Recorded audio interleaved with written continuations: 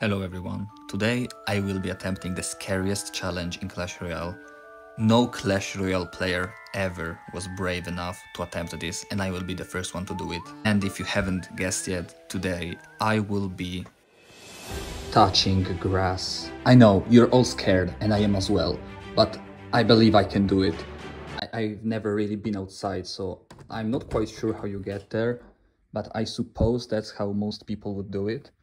So I know it, it's hard, but I, I believe that those fears need to be faced.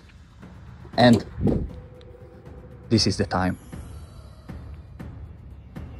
I know it's it's truly something that I've never thought I would do, but it, it had to be done. It, it had to be done. No, no, I, I can't, I can't. What am I even doing? No! Where, where, where is my e-golem? Where is my e-golem? What? What? F fuck it.